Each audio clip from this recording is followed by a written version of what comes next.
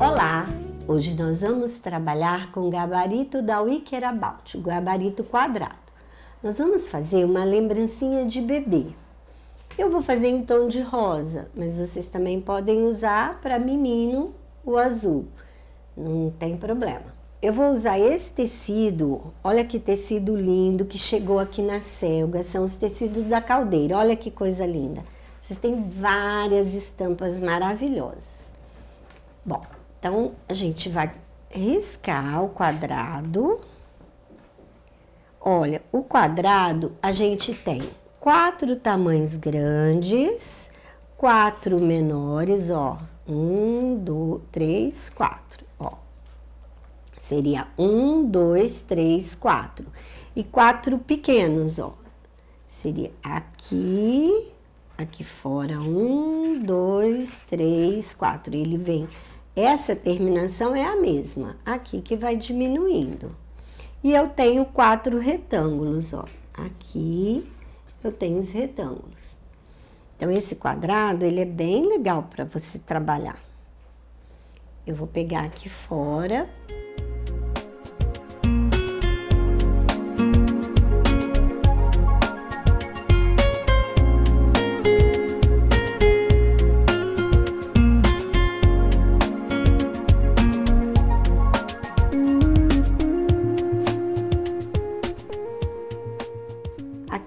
se você quiser ela menor, você vai fazer menor.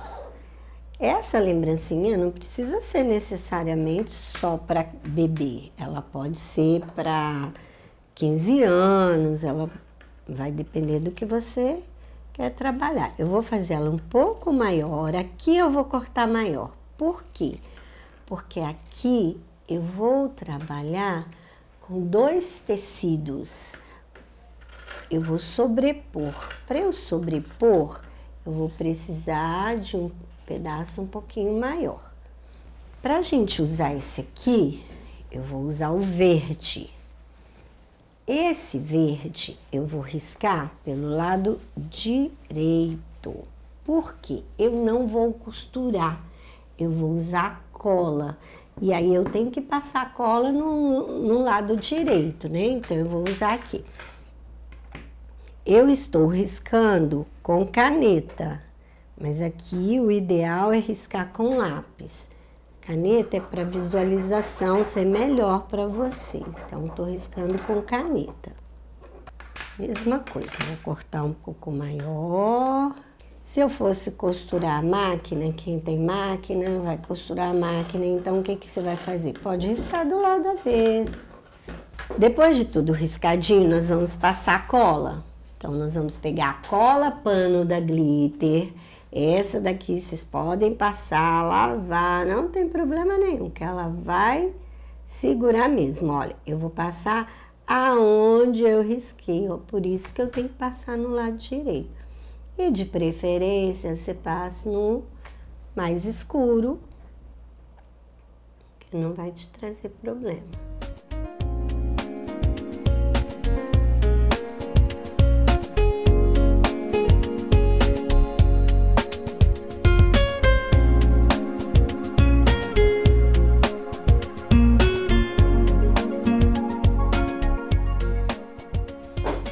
Agora, olha, nós passamos, vemos aqui, ó, colocar aqui em cima. Ó, o que que nós não podemos fazer aqui? Apertar. Você, você vai só encostar a sua mão.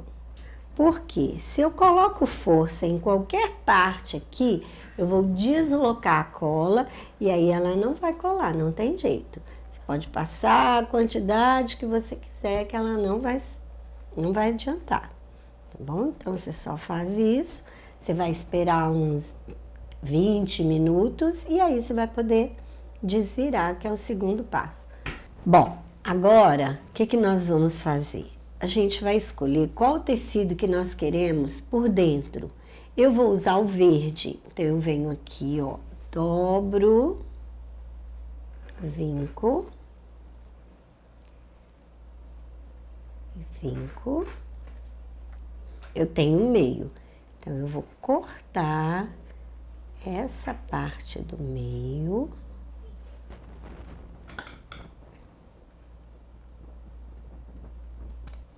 Agora, eu pego aqui, ó, nas pontinhas e vou dar um pique, ó.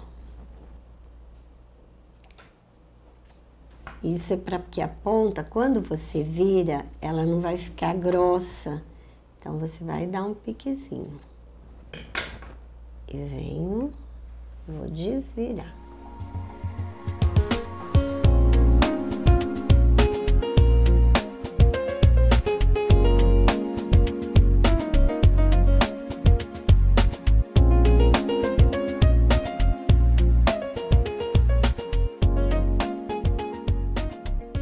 Desviramos, vamos fazer as pontinhas. Ficar bem bonitinha. Vendo aqui é que essa ponta tem que ficar bem certinha, por isso a gente corta, que, que quando você desvira, ela fica a pontinha certa. Você pode até passar, se quiser, não tem problema. O que, que nós vamos fazer? Agora a gente vem pra cá nós vamos virar assim. Você vai deixar um espacinho aqui, ó.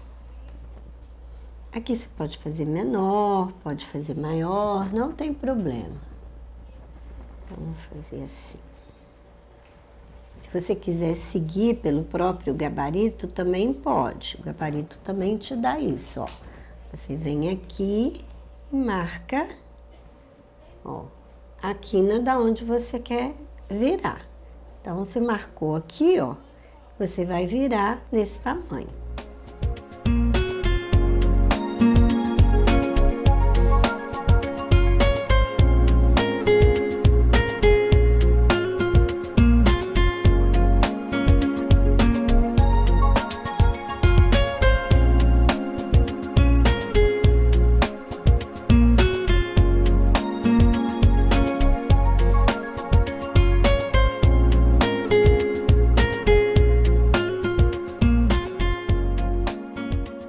Depois que você fez todos os lados, você marcou os lados, agora nós vamos costurar.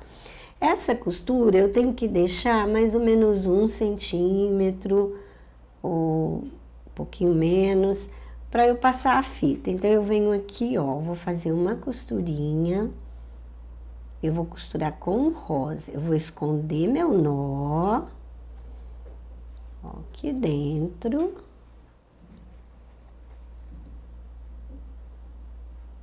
Vou começar. Aqui é tranquilo, ó, não tem erro. Vai fazer uma costura normal.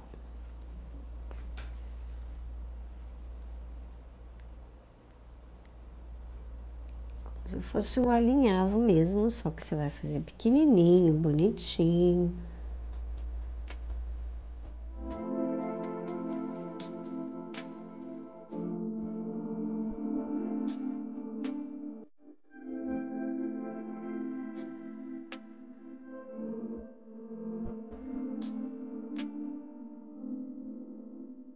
Agora nós já estamos chegando aqui no finalzinho. Ó, ela tem que ficar toda assim. Eu vou fazer meu acabamento aqui embaixo. Ó, puxo. Dou um nozinho aqui.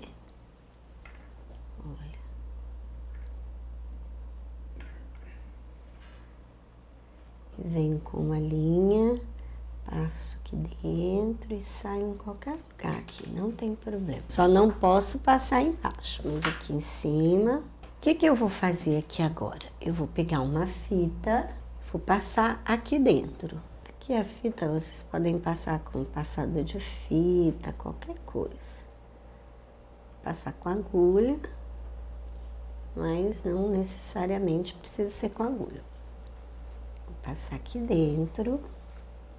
Pode ser uma fita mais fina, não tem problema. Aqui é o seu gosto que vai mandar no trabalho.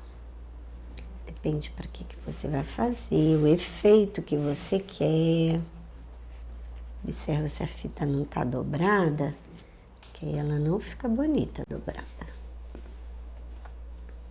Só você ir acertando, isso aí não tem problema.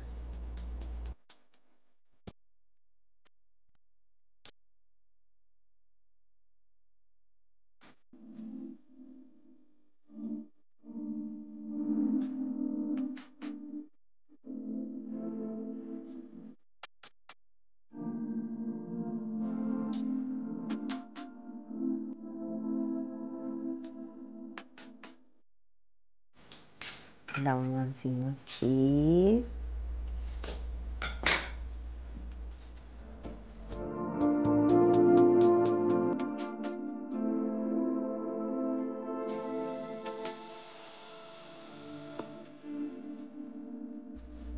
É bom sempre queimar, ó. Quando você dá um nozinho com a fita, você queima.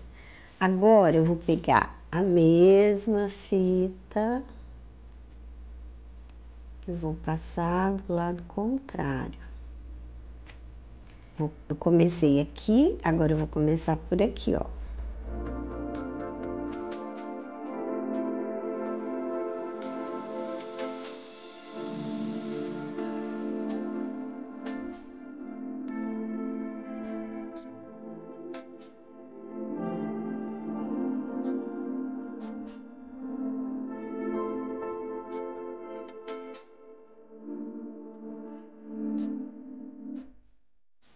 Vamos dar o nosso nozinho.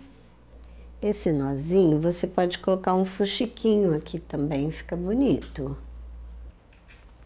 E agora você puxa. Vai pegar essa parte. Vai desvirar, porque lembra que o nosso verde é onde tem a parte que está com o corte. Então, ela tem que ficar para dentro. A gente vai puxar aqui e ficou uma bolsinha. Aqui você vai colocar, dependendo do trabalho, ou um tercinho, ou você vai colocar uma balinha, um, faz um sachêzinho.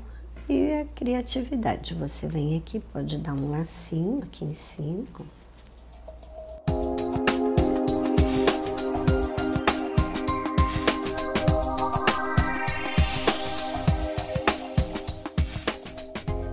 você quiser, pode colocar, olha, os botões da Wicker About que nós temos agora, que é lançamento. Olha que lindo. Você pode colocar uma madeirinha, ó, aqui ou aqui. Coloca com um lacinho, uma fita, na própria fita você prende, ou a roupinha, e você escolhe, né? Se for para bebê. Se for para menino, ó, a gente também tem de menino. Olha que legal. E fica bem bonitinho, tá vendo? Fica um trabalho bem legalzinho e diferente, fácil de fazer. Gostaram? Passa aqui na Selga.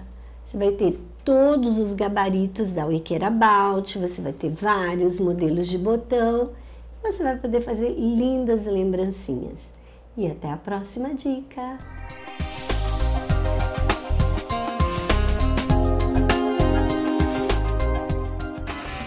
O programa de hoje está acabando. Acesse nosso canal do YouTube para rever as matérias apresentadas e se informar sobre tudo o que acontece na selva. Assim, você vai fazer sempre diferente, dando artesanatos de presente. Te esperamos no próximo espaço de Arte Selga. Até lá!